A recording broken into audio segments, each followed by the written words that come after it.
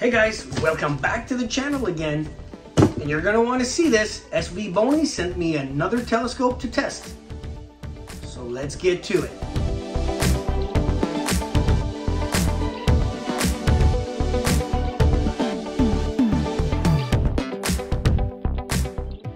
Okay guys, so I actually asked them after I tested the uh, 80 millimeter version if they can send me the 102 version and they have no problem with that.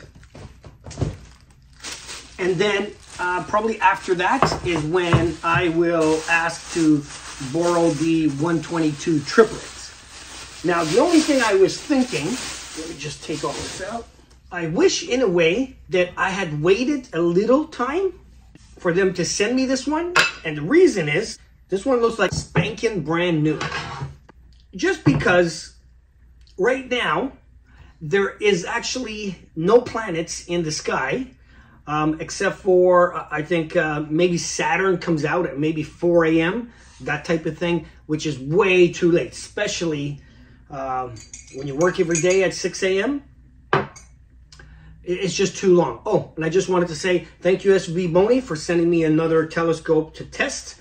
Now, this video probably will be a bit quicker, and the reason is just because we don't have to talk again about, you know, the focuser uh, type of thing. It's the same model as the other one. You know, the rings are the same, the sliding dew cap, the fit, the finish, the quality. The lens is exactly the same, made of the same material. Let me show you the front. Okay. The difference would be, of course, this is a 102 millimeter, so it's a little bigger, and of course, it's a little longer, okay?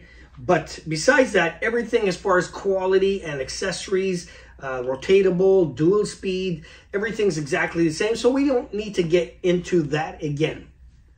So let's just start. There is a bit of friction on this guy, but you know, again, you can uh, loosen or tighten the friction of the sliding dew cap or the dew shield by turning the hex. So maybe it comes a little tight, which is fine. Okay, my trusty scale again. It says nine pounds. Nine pounds is very reasonable. Now, maybe if you put a uh, diagonal on here and a finder scope, let's say, you're probably going to get to 10 pounds, okay? But still very reasonable for a four inch telescope. Okay, compressed, 24 and a half inches compressed. So I think that's just a little long to go in an airplane carry-on. I believe it's 22. And of course, you're going to want at least two inches of padding minimum, minimum, or at least an inch on either end. So probably can't go carry on, but it can probably go on your luggage. And being that it's a refractor, if you pack it very well, should be fine. As you guys know, I brought a six inch reflecting telescope twice on an airplane. And what I mean by that is there and back one time, there and back a second time, plus about seven trips on a type of Greyhound bus. Uh, and everything went fine. Now, so I'm sure if this goes in the luggage, you'll be fine too. Okay, and extended is 30 inches, okay?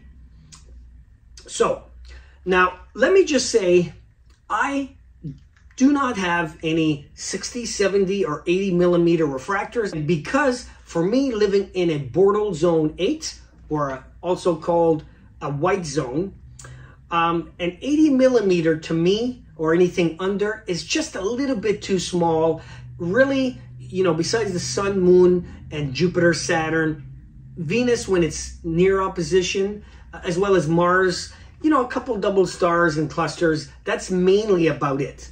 So for me personally, my grab and go telescope is a four inch uh, refractor. That's what I consider grab and go. Again, uh, nine pounds as, it, as you see it, uh, maybe 10 pounds with a diagonal, uh, inch and a quarter eyepiece, a, a, small finder scope like a red dot finder or whatever. 10 pounds is very reasonable for this size telescope.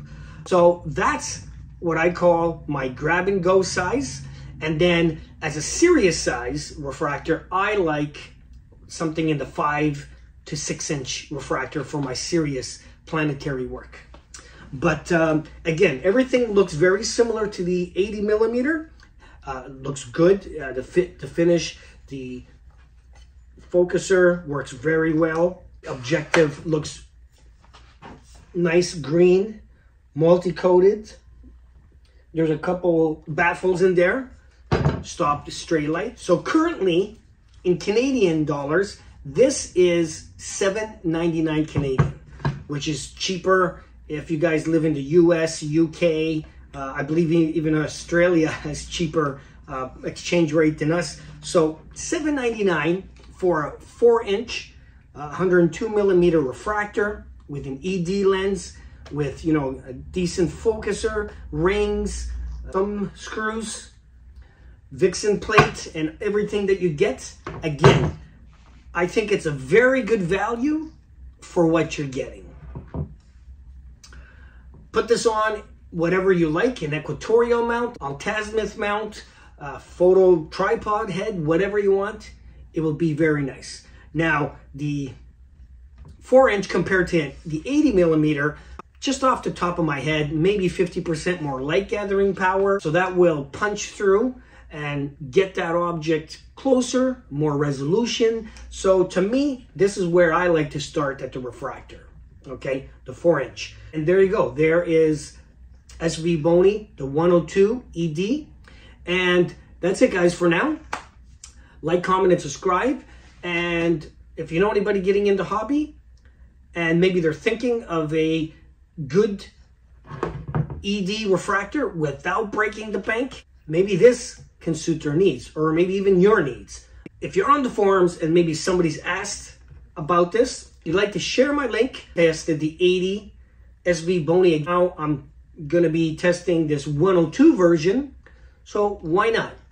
And I do have members video where once a month I put one video strictly for the members. You do not have to join if you do not want to, but if you would like to support the channel or if you'd like to see videos that the general public does not see, it's 99 cents a month and your name in the description. Okay guys, that's it for this. I'll see you next time. Why not you? Why not me?